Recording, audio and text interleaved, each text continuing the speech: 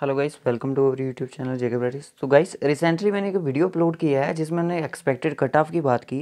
तो वहाँ पे बच्चों के काफ़ी सारे कमेंट्स आ रहे हैं कि बच्चे बोल रहे हैं कि आ, सर कि उनको थोड़ी पता चलेगा कि हमारे घर का जो कोई पर्सन है वो जॉब कर रहा है या हम ऑफन हैं ये छोटी इन चीज़ों को पता। देखो भाई जब आपने फॉर्म फिल किया था ये चीज़ें तुम पहले की फिल कर सक कर चुके हो वहाँ पर जब आपने फॉर्म फिल किया था ना, तब आपने ये पहले बता दिया था कि मैं डिस्ट्रिक्ट पे अप्लाई कर रहा हूँ, डिवीज़नल में कर रहा हूँ, या फिर मैं यूटी आर्डर वहाँ पे कर रहा हूँ अप्लाई ये चीज़ें आप पहले की वहाँ पे सेट कर चुके हो, और वहाँ पे आपने ये भी बता दिया कि हमारे घर का कोई पर्सन है, वो एक गवर्नमेंट एम्प्लॉय है या नहीं है ऑफन है या नहीं है, ये चीज़ें आप पहले की डिसाइड वहाँ पर बता चुके हो। अगर आपको याद नहीं है फॉर्म जब आपने फिल किया था तो मैं जब ये फॉर्म फिल हो रहे थे तो मैंने वहाँ पे देखा था कि जब ये फॉर्म फिल हो रहे थे तो वहाँ पे ये चीज़ें वहाँ पे पूछी जा रही थी बच्चों से कि आप कहाँ पे फॉर्म है जो अप्लाई डिवीज़नल में, कश्मीर डिवीज़न में करोगे या फिर जम्मू डिवीज़न में करोगे या फिर यूटी वाइज करोगे या डिस्ट्रिक्ट वाइज कर रहे हो, कौन कौन सी डिवीज़न में कर रहे हो? तो ये चीज़ें आपसे पहले पूछी जा चुकी हैं।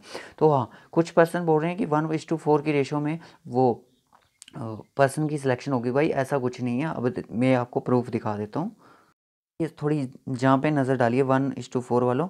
यहाँ पे देखिए आप पढ़े लिखे होकर ऐसी बातें कैसे कर सकते हैं? रिटर्न टेस्ट अगर आपने डिविजनल कैडर में, अगर इसकी जो डिविजनल कैडर में है, अगर आपका डिविजनल कैडर में फॉर्म लगा है, देन आपका जो रिटर्न टेस्ट है वो एटी मार्क्स का होगा, ठीक है?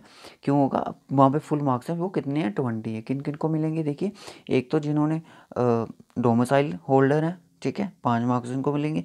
जिनके घर का कोई फैमिली एम्प्लॉय गवर्नमेंट एम्प्लॉय नहीं है विडोज़ को पाँच मार्क्स मिलेंगे और वो कैजुअल वर्क है, ठीक है, उनको मिलेंगे। यहाँ तक समझ आई सबको? कैजुअल वर्क हो गया कि आपके पास कुछ ना कुछ एक प्रूफ होना चाहिए कि हम कोई प्राइवेट काम करते हैं तो वहाँ पर ये चीज़ें आपसे पूछी गई नहीं थी जब ये फॉर्म फिल हुए थे। आई होप कि सबको याद आया होगा। और एक चीज़ और दिखा देता हूँ मैं। ज़रूरी नहीं है सबको एटीज़ पे रखा जाएगा, पर ये डिपेंड करेगा कि किस को कितने मार्क्स मिलेंगे, ठीक है? उसके बाद यहाँ पे देखिए यूटी कैडर में यूटी कैडर में से पंद्रह मार्क्स की वो है। वहाँ पे क्या क्या कौन कौन से मार्क्स मिलेंगे? यहाँ पे देखिए, जिनके घर का कोई फैमिली गवर्नमेंट एम्प्लॉय नहीं है, उनको नहीं मिलेंगे। उनको नहीं मिलेंगे हाँ विडो है divorced women judicially separated women orphan girls तो ये सर्टिफिकेट होना चाहिए जब आपने ये चीज़ें ऑफन का सर्टिफिकेट होना चाहिए। तो उसके बाद कैजुअल वर्क वही एक्सपीरियंस होना चाहिए फाइव ईयर्स उसको अपना कार्ड वो चीज़ें आपने ऑलरेडी बता गए हो जब आपने कैफ़े में फॉर्म फिल किए थे, ठीक है?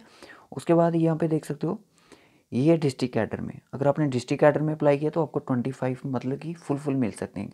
मैक्सिमम ट्वेंटी फाइव कैसे? एक तो डोमिसाइल होना चाहिए, दूसरा आपका फैमिली का पर्सन है जो नहीं होना चाहिए एम्प्लॉय डिवोर्स होना चाहिए या फिर ऑफन होनी चाहिए और ये आपका कैजुअल वर्क होना चाहिए। बस यही चीज़ें आप यहाँ पे देख सकते हो गाइस यहाँ पे डोमिसाइल के आप देख रहे हो, अगर आप डिस्ट्रिक्ट में अप्लाई कर रहे हो तो यहाँ पे बहुत ही बड़ा